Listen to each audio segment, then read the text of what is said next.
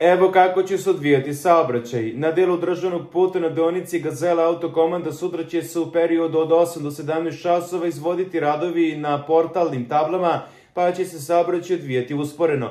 Za vreme izvođenja radova saobraćaj se odvijati usporeno voznom i predicajnom saobraćajnom trakom, dok će zaustavna saobraćajna traka biti zatvorena za saobraćaj, saopštije Automoto Savez Srbije.